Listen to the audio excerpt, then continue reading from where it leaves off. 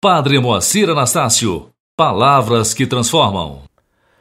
Queridos irmãos e irmãs, nós estamos meditando no Filho Pródigo, a volta do Filho Pródigo.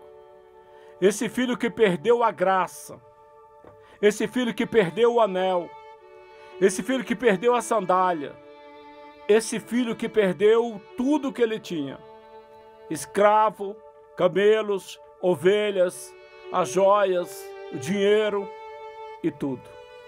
Ele só não perdeu a esperança no amor do Pai.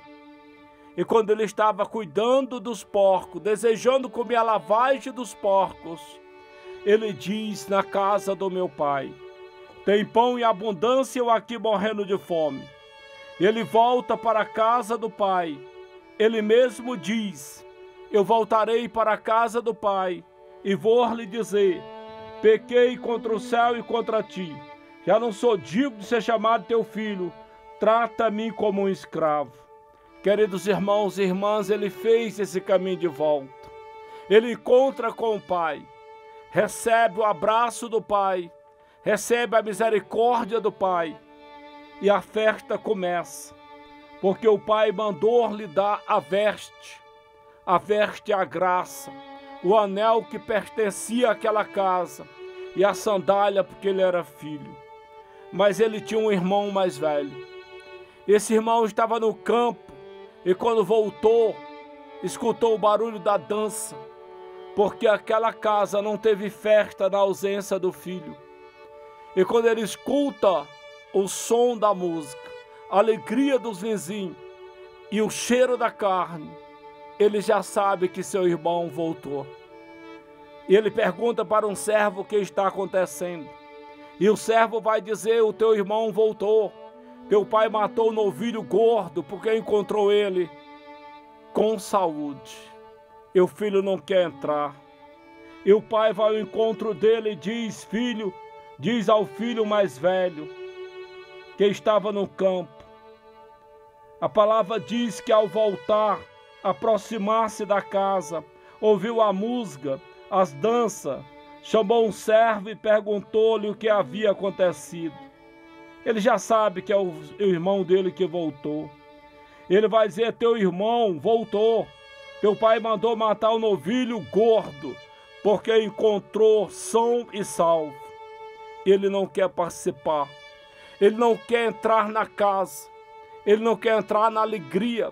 Ele não quer entrar na festa, porque o seu inimigo porque com certeza a razão do mais novo ter saído de casa é o filho mais velho. O pai vai ao encontro dele. E ele vai dizer para o pai: Eu nunca desobedeci uma ordem tua. Tu nunca me deste nem um cabrito para que eu para eu celebrar com meus amigos. E agora que voltou os teus filhos, mas teu filho que gastou toda, toda a tua herança e todos os bens com as prostitutas, tu mataste o novilho gordo. E o pai vai dizer: Filho, você está sempre comigo. Tudo que eu tenho é teu. Era necessário nos alegrar, porque este teu filho, este teu irmão estava morto e reviveu, estava perdido e foi achado. Queridos irmãos e irmãs, é exatamente isso. Volta para a casa do pai. Por que, que você saiu da casa do pai? Talvez porque o padre não te cumprimentou. Talvez foi uma briga entre você e outro e outras dentro da comunidade. O que te levou a se afastar da casa do pai. Quantas pessoas saem da comunidade por intriga, por fofoca, por bobagem e perde a graça e sofre. Mas Deus está te dizendo nessa quinta-feira Nesse dia que a primavera trazida por Nossa Senhora está chegando na tua casa e na tua vida, abre a tua vida, abre a tua casa, recebe a graça, festeja com alegria, porque o Pai te ama, porque o Pai sempre te amou, porque o Pai sempre te esperou, porque o Pai sempre esteve do teu lado do que estava morto, reviva no nome de Jesus Cristo. Do que estava cansado, desanimado, fastigado, reanima as tuas forças hoje, celebrando a nova primavera. Festeja, porque o filho pródigo estava num deserto, cuidando dos porcos. Ninguém olhava mais para ele. E o pai fez uma grande festa para ele. Hoje Deus vai fazer isso comigo e com você, através de Nossa Senhora da Primavera. Hoje, amado, hoje, amada irmã, uma festa vai começar a acontecer na tua vida e na tua casa. A alegria do Senhor, a recompensa do Senhor está chegando nas nossas vidas.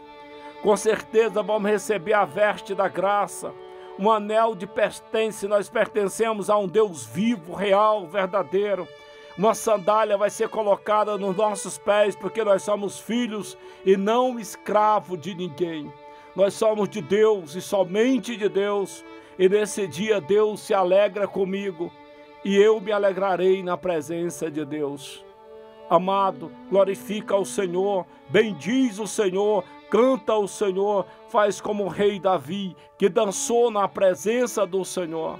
Então, com toda alegria, recebe hoje o abraço do Pai, recebe o amor do Pai, recebe a graça do Pai, recebe a festa do Pai, porque eu te garanto no nome de Jesus Cristo que a festa na tua vida começa nesse dia 22 com a nova primavera trazida pelas mãos de Nossa Senhora. Que Deus nos abençoe.